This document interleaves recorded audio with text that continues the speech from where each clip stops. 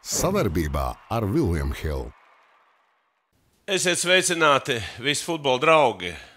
Vilniņš Hilde TV šodien piedāvās uh, interviju ar Latvijas uh, futbola izlases galveno treneri Dainu Kazakēviču. Sveiks, Daini! Sveiki, Valdi! Nu, tu esi labi atpūties, uh, četras uzvaras kabatā. Jā, nu, godīgi pasaki, tu cerēji uz tam četrām uzvarām? Cerēt, cerēt, cerēju, bet, bet sapratu, ka nāks, nāks tas viss ļoti grūti un neko viegli negaidīju. Bet, nu, nāca viegli. Samērā, nu, samērā viegli. Nu, īsnībā, īsnībā nenāca viegli, bet, bet, bet droši vien šeit ir jāizsaka komplimenti spēlētājiem par to, ka viņi spēja saglabāt gan to koncentrēšanos, gan maksimālu gatavību. Jo es domāju, sakrit vairāk faktoru. Pirmais faktors, ka mēs faktiski varējām noklāpēt savu labāko sastāvu. Faktiski nereizi šo divu gadu laikā mums tas nebija izdevies. Otrs, kas bija ļoti būtiski, īpaši tie spēlētāji, kas spēlēja Eiropā un kam bija beigušies čempionāti, viņi atbrauc ļoti labā fiziskā formā kas ir ļoti svarīgs arguments un kas parāda viņu tādu labu profesionālo līmeni un attieksmi pret Latvijas izlasi. Jo daudz no viņiem bija gadu nospēlējuši, un viņiem principā normāli būtu bijis jābūt atvaļinājumā, bet viņi gan Gutkovskis, gan, gan, gan Cigaņģis, gan Udrichs un tā tālāk, visi šie futbolisti, Tobers, kas, kas spēlē Eiropas čempionātos, kur sezona bija beigusies, tas bija milzīgs pluss. Un arī tas, ka izdevās arī izvairīties no šīm traumām, un mēs diezgan spējām vienmērīgi sastāvziņā šīs spēles nospēlēt. Un arī tie spēlētāji, kas mums bija uz soliņa, nu, viņi radīja tādu labu konkurenci tiem pamatsastāvā spēlētājiem. Bija gatavi arī tā, kāds bija piemēram mājas spēlē ar Liechtensteinu, arī pateicoties maiņām šo, te, šo te mūsu spēles kvalitāti uzlabot spēles gaitā. Tas, tas bija svarīgi, jo tīri psiholoģiski tas nebija vienkārši. Mums bija pirms tam aizdīts 12 spēles Nācija līgā. Mums bija viena uzvara tikai 12 spēlēs. To es zinu, tā Jā. statistika bija briesmīga.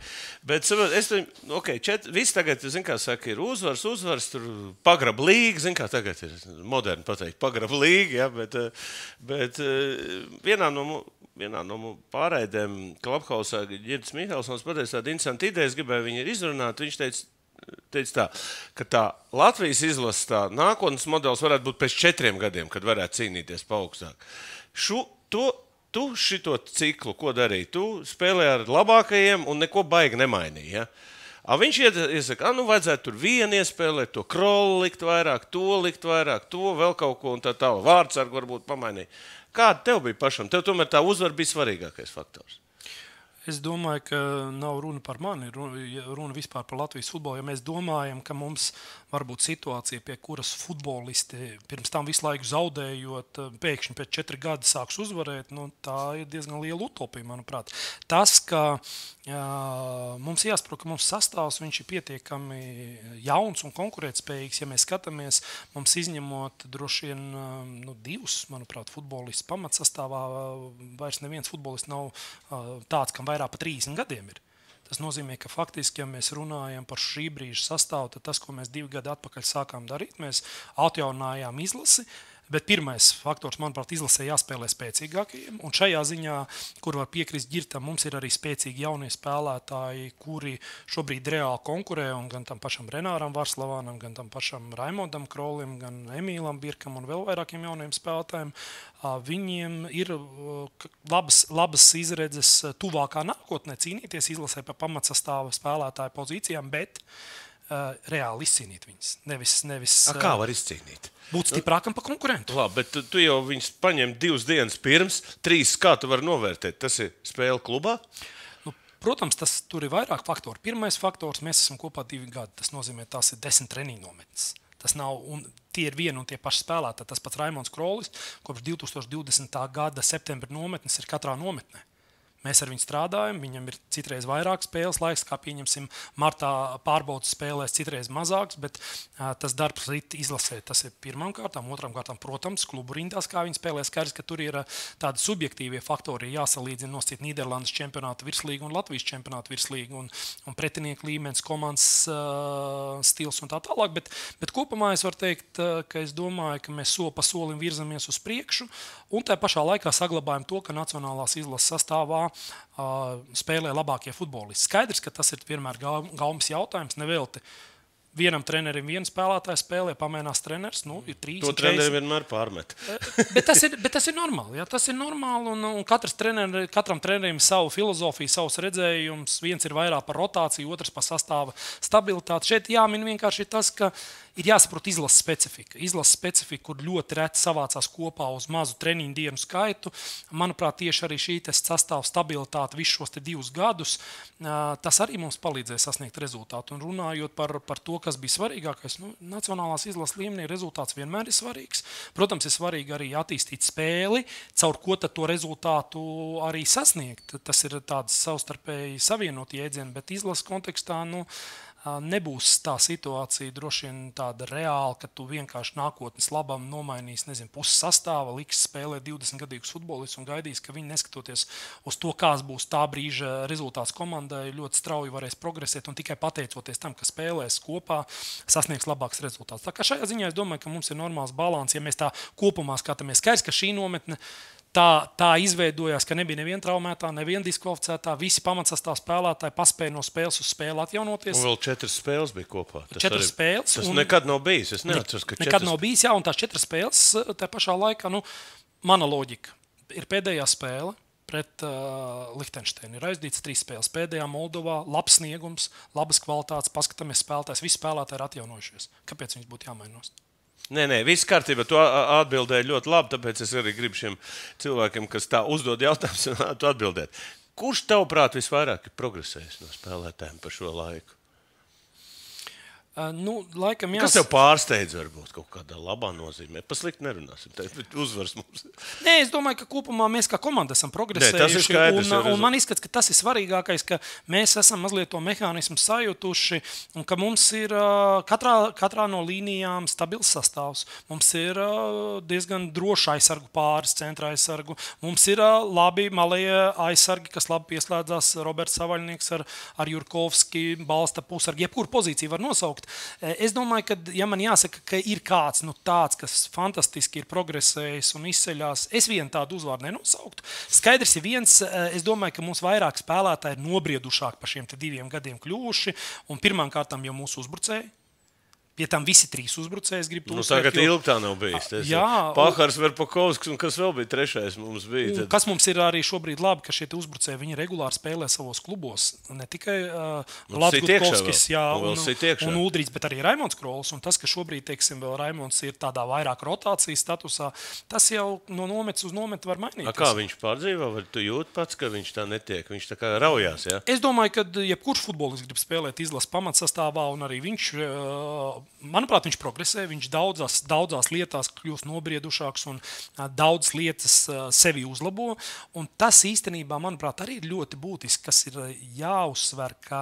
Pateicoties labai konkurencei, arī šie pirmie divi uzbrucēji, viņi saprot, ka aiz viņu muguras, mugurām sēž uzbrucējs, kas gaida savu iespēju. Un tas arī liek, liek, liek šiem pamatsastāvā spēlētājiem turēt to latiņu. Tas, ir labi, kad vien, es vienmēr arī, ja tev ir otrs piecinieks vai basketbola terminoloģija izrunājot, tad pirmais ir progresē.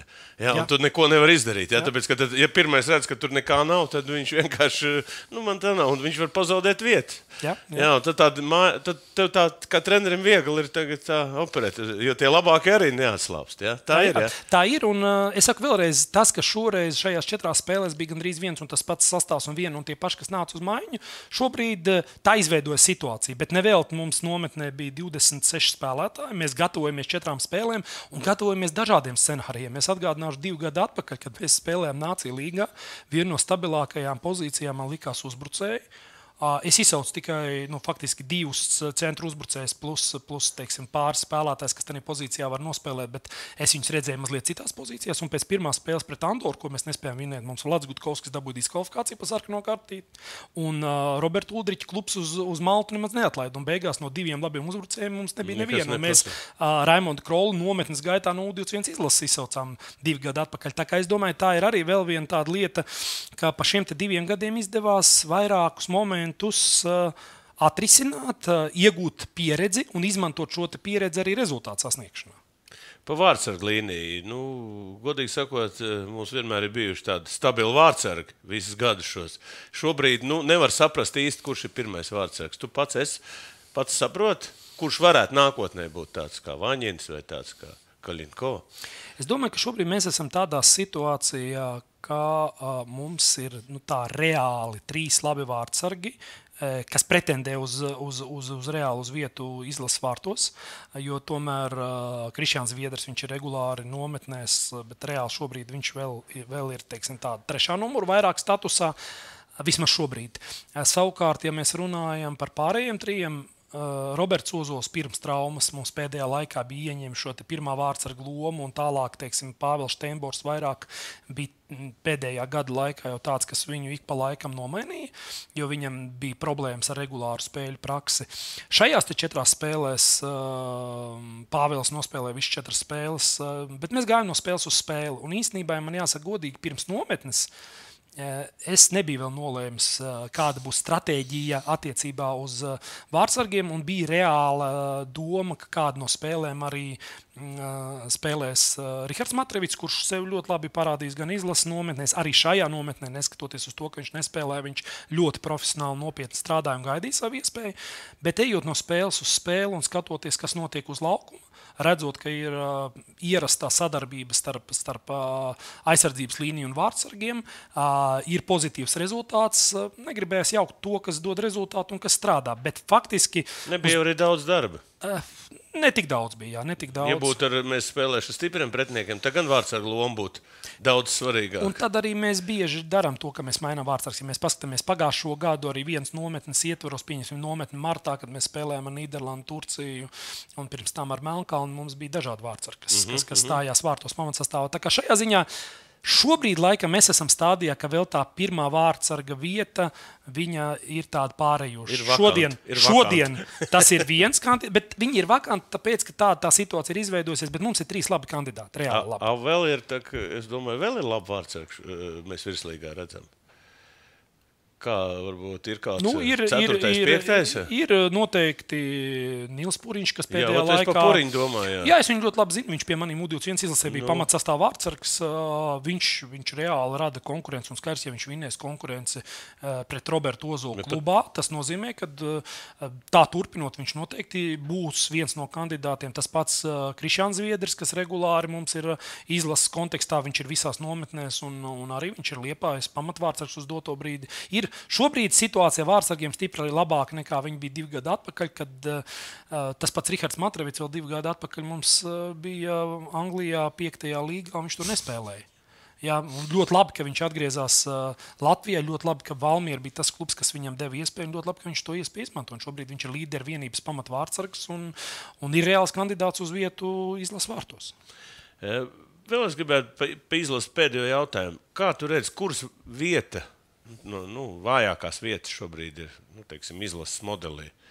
Tas ir aizsargs, vārdsargs, pussargs vai, vai nu, par uzbrucējiem mēs nerunāsim, tagad, tāpēc ka tie šobrīd rezultāti devuši. Kas tev liekas, kur tu gribētu vēl tādu pastiprinājumu? Kas tev radījuši bažas vispār?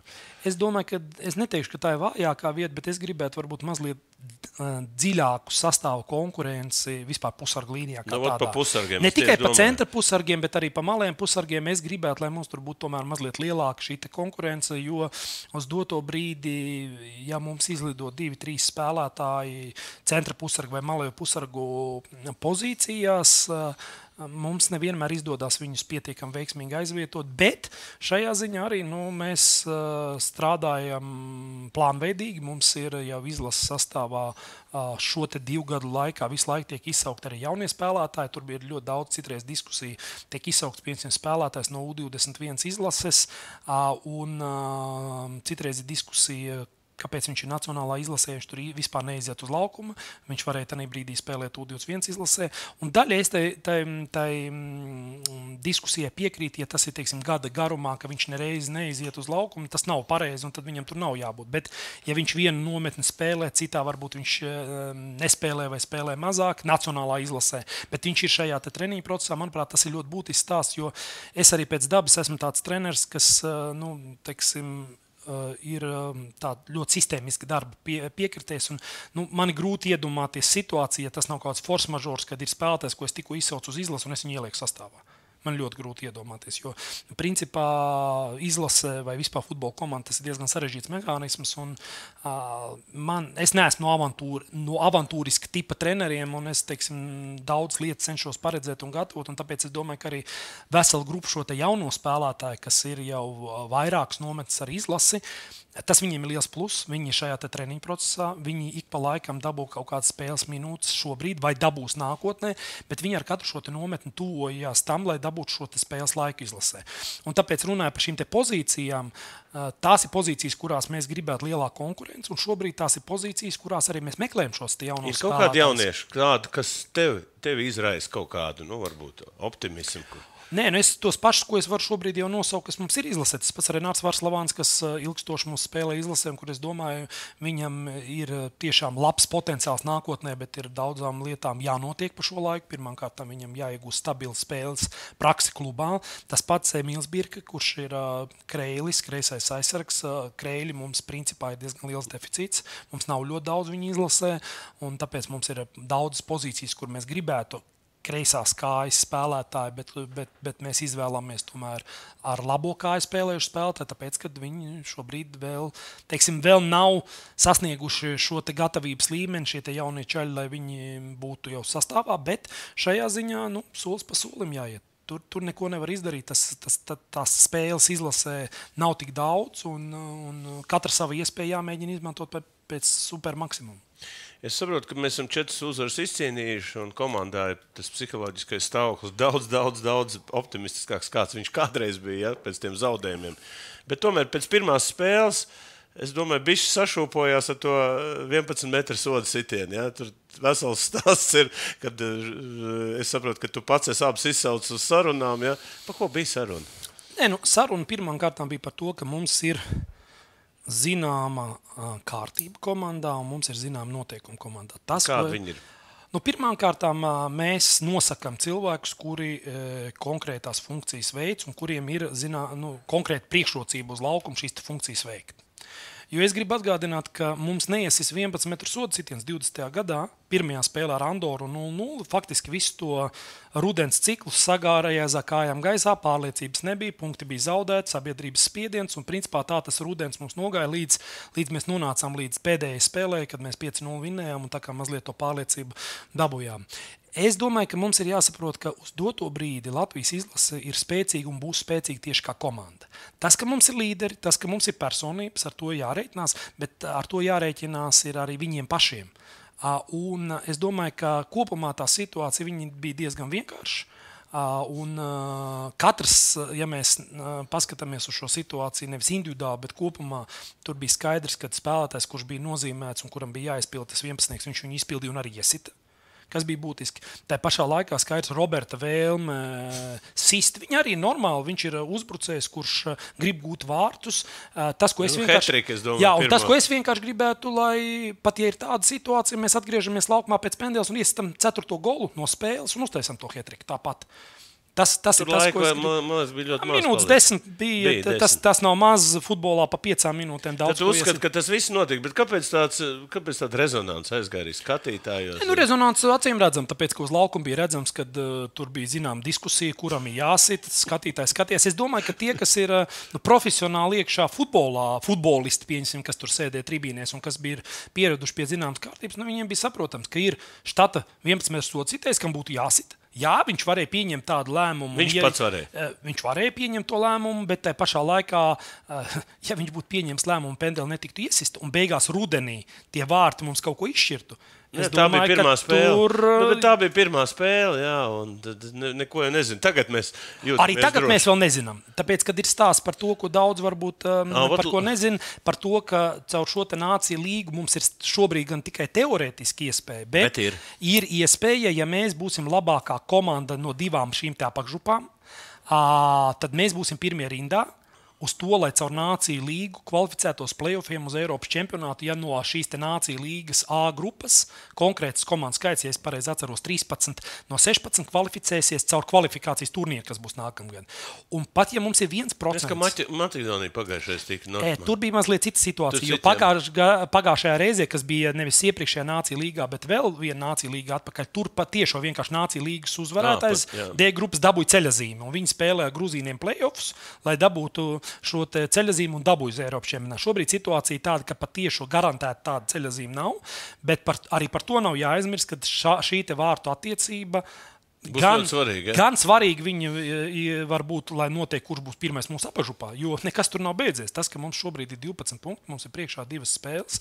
Un to, ko es teicu pirms iepriekšējām spēlēm, es pateikšu arī tagad. Nekādas eifórijas nav. Mēs ejam uz priekšu, mums ir nākamā spēle, mēs ejam no spēles uz spēli. Nākamā spēle mums ir pret Moldovu mājās. Mums ir uh, viņai nopietni jāgatavojas, jānoskaņojas uz uzvaru. Uh, Es ļoti ceru, ka mums uh, būs liels līdzjutēju atbalsts, jo es gribu arī to atzīmēt, un tie nav pieklājības vārdi. Mums nemaz viss tik vienkārši tajās pirmajās divās spēlēs uh, nebija. Un tas, ka bija pozitīva tāda līdzjūšana arī tribīnēs, Es pats biju, es Jā. jūtu to, kad, kad tas, Tas mums palīdzēja. Attieksme bija Jā, mainījusies. un tas mums palīdzēja, un tas mums, es uzskatu, palīdzēja arī uzvarēt. Un šeit, ziniet, kā, kad mēs runājam par šo līderību, nu, tā līderība tas ir arī tāds jautājums. Varbūt, varbūt līderis ir Zuzins, kurš izgāja uz mājiņu un iedeva mums trīs punktus uh, spēlē pret Liechtensteinu, kad neviens no uzbrucējiem neiesit vārdus. Tā kā es domāju, ka šeit mēs esam spēcīgi kā komanda. Mums ir komandā nepieciešami spēcīgi individuāli spēlētāji, bet jebkurā gadījumā es kā izlases galvenais treneris vienmēr rūpēšos par to, lai kolektīvā būtu pareiza kārtība. Lai katrs nodarbotos ar savām funkcijām, lai katrs viens otru atbalstītu un cienītu, bet tajā pašā laikā tikai tad, ja mēs visi izdarīsim savu darbu ļoti labi, mēs varēsim priecāties par pozitīviem rezultātiem. Nu, to mēs arī redzam. Nu, ko pārēsim lēnām pie virslīgas. Jā, tu droši vien ļoti seko. Tev nav pārsteigums, ka Valmiera ir uh, absolūts līderis šobrīd. Man ir pārsteigums. Es man domāju, daudziem ir. Ir A, kas, ir kas ir pamatā? Treneris, eh, komanda. Nu, tu, tu, Es domāju, ka tur viss ir kopā. Redzās, ka ir ļoti nopietns treneru korpusu darbs, ka komanda ir ļoti labi funkcionāli gatava. Viņi ir gatavi presingot, viņi ir gatavi labi kustēties spēles laikā. Redzās, ka komandā ir pietiekami daudz talantīgu spēlētāju, kuri spēlē pietiekami atraisīti, tādu diezgan nu, tādu brīvu, uzbrukošu futbolu. Redzās, ka komandā ir līderi, ir labi izpildītāji, un tas viss kopā nu, dod tādu pozitīvu simbiozi, par ko es vēl esmu ļoti priecīgs. Par to, ka šajā komandā pietiekami vadošās lomās ir daudz Latvijas jaunie spēlētāji. Un Arī šajā ziņā vēlreiz gribu uzsvērt, ka uh, tu, tas, i- tas ir, ir lieliska palīdzība Latvijas Nacionālajai izlasē no Valmieras kluba puses, ka tur ne tikai spēlē šie te, uh, jaunie spēlētāji, bet viņi spēlē pietiekami būtisku lomu, komandu uzvaru. Tātad tā ir zināma pārliecība, un es vēlreiz gribu teikt, ka arī šo spēlētāju nozīme pat šajās četrās spēlēs, gan Alvija Jaunzeme, gan Raimonda Kroļa nozīme ir ļoti būtiska. Izejot uz mājiņu, pastiprinot spēli, radot konkurenci treniņu procesā reālu, kad tie spēlētāji, kas ir pamatsastāvā, viņi saprot, ka viņi nevar uh, iedot sev nekādas atlaides. Tā kā šajā ziņā man tas ir pārsteigums, pozitīvs pārsteigums, un tā pašā laikā es domāju, ka arī šī reālā konkurence nu, ir ļoti vērtīga. Es gan nesteigtos vēl ar to, Nē, nē, nē, tur jau viss, kas kad, var notikt, Jā, jā. ka, ka tur uh, jau viss ir uh, nolemts, bet, bet uz doto brīdi es domāju, tas ir ļoti pozitīvi uh, Latvijas virslīgai, tas ir pozitīvi Latvijas futbolam. Un kas ir būtiski, manuprāt, šobrīd ir ļoti būtiski, lai mūsu virslīgas klubi labi nospēlē Eiropausos, lai pēc iespējas Tūlīt vairāk šīs sāksies, spēles tūlīt aizvada. sāksies, jā. Un dod Dievs, lai, lai kāds no viņiem arī iekļūst grupu turnīrā, kas ir vēl ekstra sešas ā, starptautiskā līmeņa spēles, kas noteikti būs ne tikai plus futbola popularizēšanā, bet reāls plus mūsu arī izlases spēlētājiem. Šīs papildus spēles, augsta līmeņa, ar labu līmeņu pretiniekiem. Nu, es gribētu tev kā treneris varbūt pa- paanalizēt Valmieras eh, Pērtīs komandu un Kalnu komandu. Varbūt. Kas ir sama... mainījies tā, ka viņi tik pārliecinoši spēlēt, jo sastāv gan RFS, gan Rīga, gan Liepā, nu, un vājāk viņi nav kļuvuši. Nu, man tā negribētos tik dziļi iet personālajās, jo man Es ir negribētu grūti- pateikt, bet Jā, tieši taktiskā ziņā. Es domāju, ka tas, kas ir mainījies, ir pirmkārt tas, ka varbūt šobrīd es, es personīgi redzu mazliet uh, vairāk variāciju uzbrukuma spēlē. Nekā tas varbūt bija iepriekš. Stilistiski, es domāju, ļoti daudz kas ir saglabāts, uh, tas, kas deva rezultātu iepriekšējos gados, un mazliet varbūt uzlabos. Tas pats pressings, tā pati aktīvā atsekšanās, uh, tā pati spēles, taktikas maiņa, spēles gaitā, pirms spēles ar mazām niansēm, varbūt, bet tomēr. Uh, un, bet tas, ko es varu redzēt, jā, kad varbūt tā pati atmosfēra viņa mazliet ir kļūst tāda atraisītāka, un spēlētāji uh, redzās, ka brīžiem viņi jau sāk kaifot no procesa, kas, kas īstenībā ir nu, tāds ļoti, manuprāt, labs rādītājs, ka komanda ne tikai spēja uzvarēt, bet viņa spēja nokaifot no tās spēles, ko viņi rāda. uz Spēlē laukuma. smaidu uz lūpām. Jā, un, protams, es domāju, ka arī atsevišķi spēlētāji kļuvuši pa gadu pieredzējušāki, kas arī nav mazsvarīgi, jo tur ir daudz jauno spēlētāju, un, un šī jau ir, teiksim, ne pirmā sezona viņiem kopā.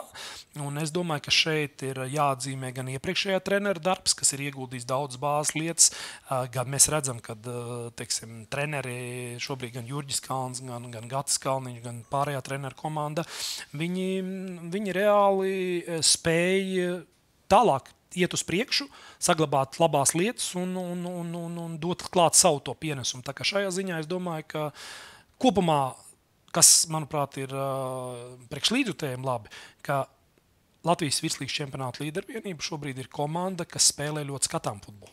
Ko ir patīkami skatīties. Jā, nu, tas ir tas, es domāju, patīkamākais. un Tas, ka komanda nevis no Rīgas, bet Valmē. Kas tad notiek ar futbola klubu Rīgā vispār? Dārgākie spēlētāji, lielākais budžets, viņi tur paši netiek galā. Nu, to jau droši vien viņi tikai paši zina, kas, kas, kas, Kas, tur kas tev krīt acīs?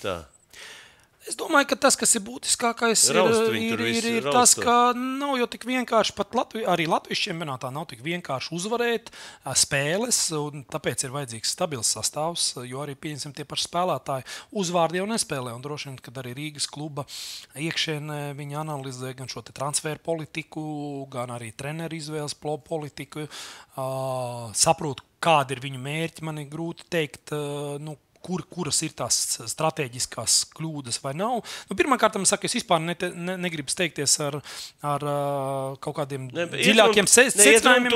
Jo, jo, jo par Rīgu runājot, vai par RFS, vai par Liepāju, nu, vēl ir pussezona priekšā. Paskatīsimies, kas tur būs. Vēl viņiem savā starpā gandrīz Visu visiem, gandrīz visiem divreiz vēl jāspēlē. Un šajā ziņā tur trīs, četru neveiksmīgu spēļu sēriju, to tabulu var sagriezt arī citādāk. Tāpēc paskatīsimies, pagaidīsim. Bet, nu, uh, droši vien, kad uh, tas, tas galvenais moments ir tas, ka uz doto brīdi vienkārši Valmiera ļoti labi spēlē. Nu, jā, tas ļoti labi tas, spēlē. tas ir. Tāpēc visi ir apduluši, nevar saprast, kas notiek. Teiksim, Finka tā, kas uzaicināšana. Viņi bija tik. Es sa- sapratu, vairāk reklāmas triks bija sanācis. Kas tad? Nu, es nezinu, es varu pateikt tikai savu viedokli. Es gan ar viņu esmu personīgi ticies, gan esmu redzējis spēles viņa vadībā. Kopumā man patīk, kā viņš strādā. Kopumā man patīk viņa filozofija. Es domāju, ka skaidrs, ka viņi paši klubā tikai var pieņemt lēmumu, kuru treneru uzaicināt un cik ilgi viņam dot iespēju strādāt. Bet es pats personīgi redzēju, ka pirmssezonā komanda aizvadīja ļoti kvalitatīvu pirmssezonas darbu, spēlēja pietiekami kvalitatīvu futbolu. Jā, droši vien, ka mentālais stāsts, kas vienmēr ir tāds, ka tad, kad no Emirātu vai Turcijas labajiem laukumiem atbrauc uz sintētikām, atbrauc uz Daugopili vai uz Tukumu un tev jāspēlē tur un tur, ir jāatrod spēlētājos motivācija, jā, jāatrod spēlētājos, um, teiksim, Uh, nu, jāizvirz viņiem prasības, lai viņi maksimālo to sniegumu rādītu. Jo tad, kad citreiz saka, nu, kad Latvijas izlases sakarā, ne, nu, Liechtensteina, nu, kas ir Liechtensteina. Tur ar trešo sastāvu mēs savāksimies no sēdes un apspēlēsim. Es gribu atgādināt, ka pēdējo 20 gadu laikā man ir trīs Latvijas uh, nacionālās izlases treneri pēc uh, zaudētiem punktiem pret šādām te, uh, vai līdzīgu līmeņu komandām tika atlaisti. Tad, tad, tad, tad līdz ar to tas es stāsts domāju, tas ir nepareizi. Tagad, tagad. Un, un, un otrs tās, atgriežoties pie Rīgas un Finka, nu, man personīgi imponēja gan viņa, gan viņa treneru komandas darbs. Bet skaidrs, ka es domāju, ka.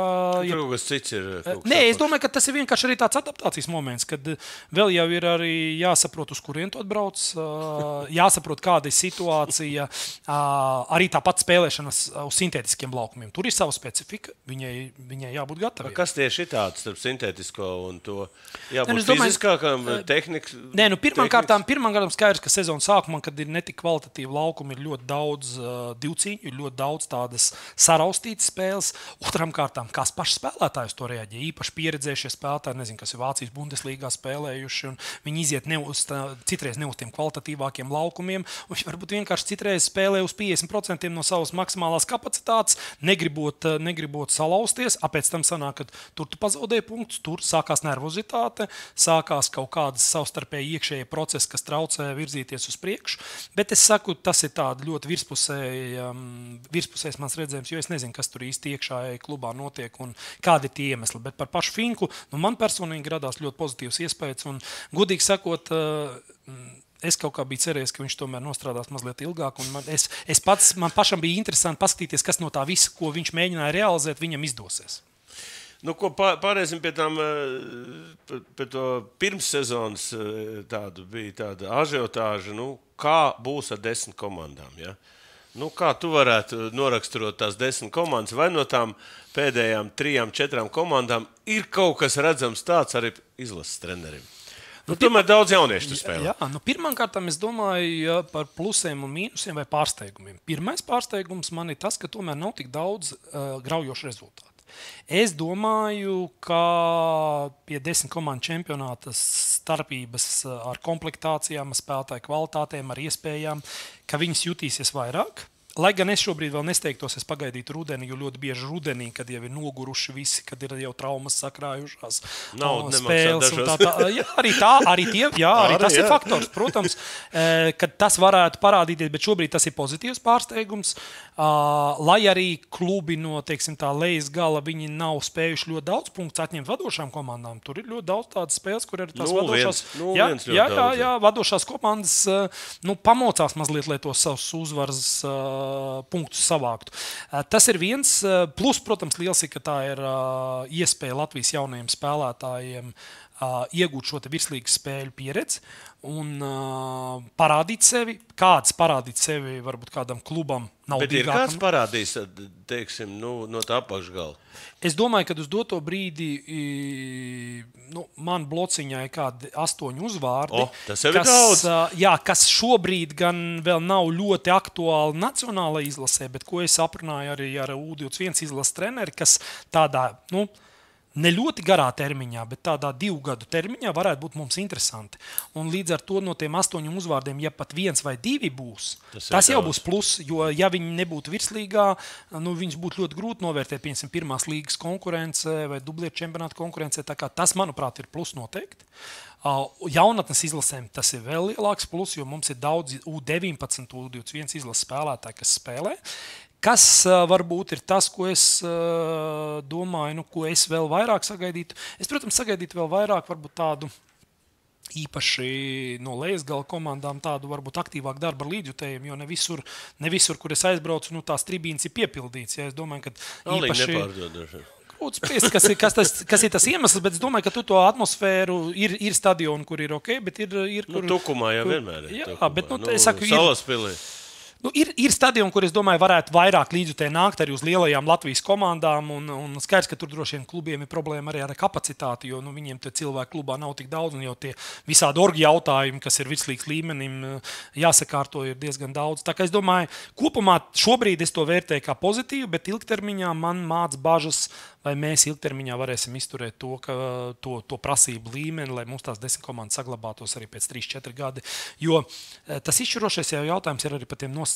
Es, do, es uzskatu, ka, nu, lai spēlētu virslīgā, nu, ir tomēr jānodrošina tāda apstākļa, lai varētu komandas profesionāli nopietni trenēties. Lai tās ir pusprofesionāls komandas. Un es domāju, no tā Latvijā vismazāk būtu jākautrējās. Mm -hmm. Es uzskatu, ka daudz labāk ir, ja mums ir, mēs godīgi pasakām, mums ir pusprofesionāla komanda. Pa dienu mums džeki mācās un strādā, bet vakarā katru dienu viņi trenējas. Viņiem par to kaut kāda nauda pienākās. Tā dzīvoja, un es pieļauju, ka arī tagad dzīvo daļa Skandināvijas, un neviens par to nekautrēs. Man liekas, tas ir daudz labāk nekā nosaukt sevi par tādu pseido profesionālu, pasolīt 1000 eiro algu un pēc tam gadu nemaksāt to algu tam spēlētājam. Jo es domāju, ka šajā ziņā šis pusprofesionālais uh, līmenis atsevišķām komandām, bet ar profesionālu, maksimāli iespējamu profesionālu treniņu procesu, tas ir ļoti normāls Latvijas futbola ceļš. Redz, es daudz lietas nodarbojos ar, ar augstāko izglītību, bet futbolā es esmu ievērojis, ka nekad nav bijušas tādas augstskolas komandas, kas ir basketbolā bijis. Mums bija RTU, tur, LU un, un savā laikā ļoti daudz basketbolas mācījās. Kāpēc futbolists negrib mācīties? Es domāju, ka futbolisti grib mācīties un mācās, un šobrīd tā situācija stipri pamainījusies. Pamainījusies, nekā jā, tā. viņi bija iepriekš. Arī, lai gan arī iepriekš, nu, zin, kā, ir jau dažādi piemēri. Uh, mums Aleksandrs Starkovs, viņam ir trīs augstākās izglītības. Nu, un Daugavas laikā, kad nu, Daugavas spēlē vēl pirmajā līgā, Skredels nu, spieda visus iet mācīties. Tāpēc arī es saku, ka Skredels iedeva to grūdienu. Jā, jā. A, kas tagad dod to grūdienu? Nē, nu arī šobrīd, pieņemsim, ir, ir uh, dažādas situācijas. Es piekrītu, kad ir daļa klubi, kur uh, tajā brīdī, kad nonāk tas futbolists līdz tam punktam, nu, tad tev profesionāli tagad trenēties vai atrast to vidusceļu, lai turpinātu trenēties un iet mācīties. Ļoti bieži tur tas treneris uh, saka, man neinteresē, ko tu tur darīsi. Man vajag, lai tu būtu treniņā 9 no rīta vai 10 vai 11. Bet tajā pašā laikā mums ir arī pieredze, tomēr, ka mums ir gan metas klubs, kam ir sadarbība ar Latvijas universitāti. Mums bija sadarbība, es nezinu, cik viņi šobrīd ir cieši, bet es domāju, ka viņi ir Valmierai ar Vidzemes augstskolu. Viņiem bija pat nosaukumā vienā brīdī arī šis mm -hmm. nosaukums augstskolas. Tā kā es domāju, ka zināmas iestrādes tur ir, bet tāda ļoti cieša sadarbība, es domāju, ka tur ir daudz lielāks potenciāls nekā futbols šobrīd izmanto. Stipri lielāks. Jo gala rezultātā, tagad arī skatoties jaunatnes izlases spēlētājs, ļoti daudz no viņiem studē. Studē vai neklātienē, vai, vai, vai vakar nodaļās, un tā tālāk. Un tā tālāk. Un es domāju, ka tur ir arī šis potenciāls saprast, ka šis arī savā veidā ir šis pusprofesionālā futbola ceļš. Kad tas nozīmē, ka spēlētājs vēl četrus gadus, ja tu viņam nodrošini kaut kādas vēl tādas finanses atbalsta mehānismus, un viņš paralēli studē, viņš būs tādā futbolā, un ja viņam viss tur izdosies, tad viņš varbūt kļūs par profesionālu. Un aizies tālāk, nu, ja viņam neizdosies, tad viņš vismaz kādu laiku posmu vēl būs, un viņš nebeigs savus futbolistu gaitas 19 gados, vidusskolu beidzot. Jo redz, izglītots futbolists, jā, tas, tas tomēr. Nu, mēs zinām, ja, ka tur lielākoties ir krievalodīgie, ja, un ja viņš nav vēl izglītots, ja, tad, tad, viņš, tad mēs redzam to politisko situāciju. Viņš vienmēr varētu iet Bet, uz zin, kā to tiem krievalodīgiem arī tas tā ir. Man izskatās, ka šobrīd arī tā situācija viņa stipri, stipri pamainījusies. pamainīsies. Viņi tomēr vairāk rietumu domājuši. Nē, es domāju, ka pirmkārt tā ļoti grūti notiek krievalodīgie, nekrievalodīgie, jo ļoti daudz šie jaunie cilvēki viņi ir pilnībā, latviski. pilnībā ā, iekļāvušies sabiedrībā. ne, man, Tā ir praktiski problēma tais vecajos pēc būtības. Ja jaunieši, Nu, drīzāk, drīzāk. Nē, nē, e, basketbolā krievu nav. Man grūti spriest. Futbolā, hokeja, hokeja arī sāk spiest latviešu ārā krievus. Ja. Tad pēdējie palikuši, kur, kur viņi vairāk ir, tad ir futbolā. Nu, tad tu labāk jūti tur kā tur. Nē, nu, es domāju, pirmkārt, tas ir labi, ka, ka arī krievalodīgie futbolā, jo viņi iedod zinām arī savu tādu mentalitāti, kas ir svarīgi, Jā, tas- nekaunību zinām. Jā, tas, ir- tas, tas ir būtisks tās. Otram kārtām, nu, es nezinu, kaut, kaut vai izlases kontekstā var teikt, ka šie te, nu, it kā krievalodīgie puiši, kuri visi runā arī latviešu, un nekāda problēma nav, un normāli viss sadzīvo, un es neredzu tā, tur kaut kādu lielu starpību. Es domāju, ka tas stāsts jau ir tāds mazliet pagātnes stāsts, un uz doto brīdi runājot par, par izglītību. Tur es domāju, ka futbolam uh, ir tomēr pro, potenciāls vēl pielikt, jo, ja mēs analizētu šobrīd augstu līmeņu šos sportistus, izlašniekus, kas ir virslīgas spēlētājs, tad mēs noteikti redzētu, ka tas procents, kurš ir veiksmīgi pabeidzis studēt vai, vai reāli studē, viņ- viņš varētu būt lielāks. Man vienkārši nav to datu tādu pavisam precīzi, un es domāju, ka tā situācija stipri individuāli ir dažāda. Viņi ir dažādi, pieņemsim, nezinu, Liepājā, Daugopilī un Rīgā. Jo, jo es saku, tāpat metas komanda, nu, viņiem, priekš viņiem tas bija tāds liels stūrakmens jau daudzus gadus, ka viņi šo te, uh, izglītības iespējas un, un, un profesionālās futbola izglītības iespējas mēģina salikt kopā. Man Tas tā ir tas baigi labs pareizi, piemērs, jā. ļoti labs piemērs. Uh, man ir jautājums, kā, kā varētu federācija šeit ietekmēt šo procesu? Vai, vai, vai teiksim, kaut kādas akcijas taisīt, vai kaut kādas speciālas tur, seminārs un tā tālāk izglītot šo futbolu? Jums ir ļoti daudz, 15,000 futbolistu, man liekas, ja? kopumā. Es domāju, pat vairāk, ja Pat mēs vairāk. ņemam tos, kas ir vēl amatieru segmentā. Jā, pat jā, vairāk. bet nu, tie, vot, mēs runājam par to jaunieci. Nu, izglīto, es saku, ka, piemēram, izglītos basketbols tas ir daudz labāk nekā, nekā uh, gāja visu ceļu. Nu, mēs tagad būsim profesionāļi un viss, un tad, kad profesionāli beidzās, tad mēs esam izmest uz ielas un nezinām, ko darīt. Ot šo ir kaut kā federācija kustinājusi vai kustinās? Vai? Uz doto brīdi es zinu, ka notiek ļoti nopietns darbs, lai šogad palaistu šo duālās izglītības programmu. Un tā duālās izglītības programmā ir tāda, trīs sadaļas. Pirmā sadaļa - izglītot jaunos futbolistus jau šobrīd. Um, attiecīgi, teiksim, sākot ar 14, 15 gadu vecumu, kur viņiem sniegt um, teiksim, informāciju vai sniegt zināšanas gan iespējās, kādas viņas ir apvienot mācības ar futbola spēlēšanu, gan viņa izglītības profesionālajā jomā, tas nozīmē mentālā viņa izglītība, izglītība par viņa uzturu, kā viņam rūpēties par savu ķermeni un tā tālāk. Un tā tālāk. Otrs stāsts, es zinu, ka uz doto brīdi notiek darbs jau um, no Futbola federācijas puses. Manuprāt, jau ir viens vai divi līgumi tādi ar augstskolām noslēgti par to, ka šiem labākajiem uh, spēlētājiem ir iespēja dabūt šo, šis, šos grantus no LFF sadarbībā ar augstskolām, lai viņiem būtu pilnībā apmaksāts uh, studiju vietas konkrētās programmās. Tur, zinām, kustība ir. Es visas detaļas nu, droši vien nezinu, bet es zinu, ka zinām, kustība ir šobrīd. Nu, teiksim, jau sākot ar pagājušo gadu, sākusies. Un, uh, skaidrs, ka Futbola federācijai tas jautājums um, par šo spēlētāju izglītošanu un, zināmā mērā, arī par vecāku izglītošanu. Tas ir vissmagākais jautājums. uh, ir ļoti būtiski, ir ļoti būtiski, jo mums jāsaprot, ka uh, nu, tas iedos mums vēl papildus iespējas attīstīties arī profesionālā jomā un sportiskajos rezultātos. Nu, pēdējo jautājumu, ko es gribēju uzdot, starptautisko mēs varbūt šodien nerunāsim. Sezonas vīdes tagad īsti nav saprotams. Es domāju, mēs varētu, tad tuvāk būs pasaules kausa, tad mēs varētu runāt. Ko tu pasaules kausā darīsi? Tu brauks uz turieni? Jāskatās, šobrīd jāskatās, jo pasaules kausa būs tādā specifiskā laikā. Novembrī mums novembrī Varēs atpūsties. Būs, nē, nē, mums būs treniņu nometne. Mums būs pirms pasaules kausa noteikti treniņu nometne Nacionālajā izlasē, kur mēs spēlēsim kaut kādas draudzības spēles. Tā kā tev nesanāks īsti būs jāstāsta. No. Nu, varbūt pēc, šī, pēc šīs treniņu nometnes arī kādu no spēlēm es apmeklēšu, bet nu, šobrīd tik tālu vēl neesmu. Kā vispār karš ir ietekmējis šobrīd Latvijas futbolu un arī tavu dzīvi? Vispār? Nu, es domāju, ka karš ir ietekmējis katru normālu domājošu cilvēku dzīvi. Pirmkārt, tas ir jautājums par, par sajūtām, par, par drošības sajūtu, par, par, par, par savas ģimenes drošības sajūtu. Lai kā mēs eh, nu, gribētu būt tādi, kas domā par visu plašo pasauli, bet pirmkārt mēs padomājam par sevi un par saviem tuvākajiem. Manuprāt, tas, kas šobrīd notiek Ukrajinā, parāda to, ka nu, īstenībā neviens mēs pilnīgi droši justies nevaram. Otram kārtām tas man personīgi ir ietekmējis tādā veidā, ka es esmu ļoti daudz aizdomājis par to, kas īsti sēž cilvēkos iekšā. Mūsu līdzcilvēkos, kas mums ir riņķī, gan šeit pat blakus, gan kaut kur tālāk, kāda, kāda cena ir cilvēka dzīvībai, kāda, kāda, kādā sabiedrībā mēs dzīvojam, kādas ir tās mūsu kopējās vērtības.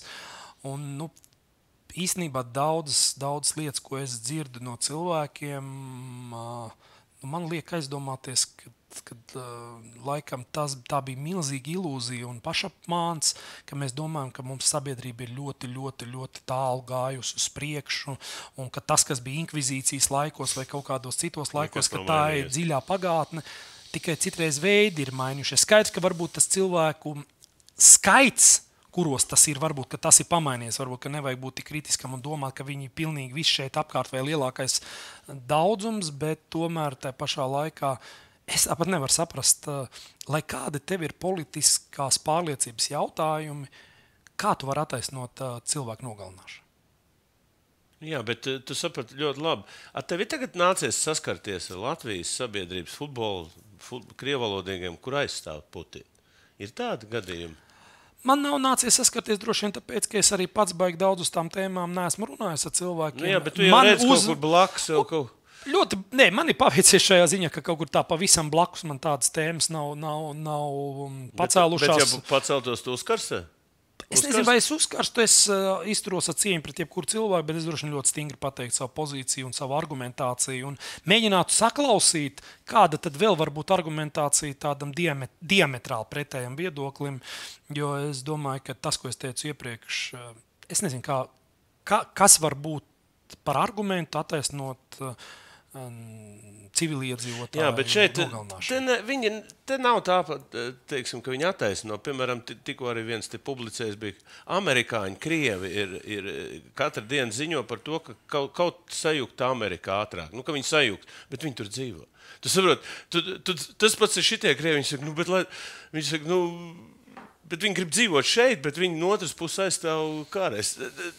Vienā, vienā personā div, div, divas dažādas lietas tiek. Tiek jaukts. Ot, Tas man pārsteidz visvairāk. Jā. Nē, kāpēc es saku? Es domāju, tāpēc, ka par to jaunatni vairāk uztraucos. Krievu jaunatni, kāda viņi ir vispār? Futbola jaunatni? Kādi viņi ir? Nu, zin, tā, Viņi ir patriotiski vai viņi tomēr ir neitrāli? Nu, tā globāli man ir grūti pateikt, jo es jau šobrīd strādāju konkrētā komandā, konkrētiem cilvēkiem. Tie cilvēki, kas Latvijas Nacionālā izlasē, Nu, skaidrs, viņi tur ir. viņi ir patriotiski. Viņi ir patriotiski, un arī, kā jau teicu, tikko tas vien, ka viņi noziedo kaut kādas savas lietas, personīgās intereses komandas labā, tas par daudz ko runā. Kas ir kopumā, man ir grūti spriest, jo es domāju, ka sabiedrība ir daudz dažādāka nekā mums šķita iepriekš. Un visas šīs sāsinātās situācijas to arī parāda, ka nav viss tik vienkārši, kā mums izskatās. Nav, nav tā, ka tas, kas mums liekas pašsaprotami, tikpat pašsaprotami ir kādam, kas sēž mums blakus. Ko ar to darīt? Nu, tas, ko es domāju, pirmkārt, dzīvot pašam personīgi pēc vislabākās savas sirdsapziņas, lai tev nav kauns skatīties spogulī. Tas ir pirmais. Otrais, ar cieņu pret jebkuru līdzcilvēku, bet tomēr aizstāvēt viedokli savu un mēģināt argumentēt to. Un nu, pārējo, lai kā, cik tas skarbi neskanētu, nu, pārējo tikai dzīve saliek pa plauktiem. Da, nu, pēdējais jautājums. Kad Latvijas futbola izlase dziedās Latvijas himnu tā kā to itāļi dara?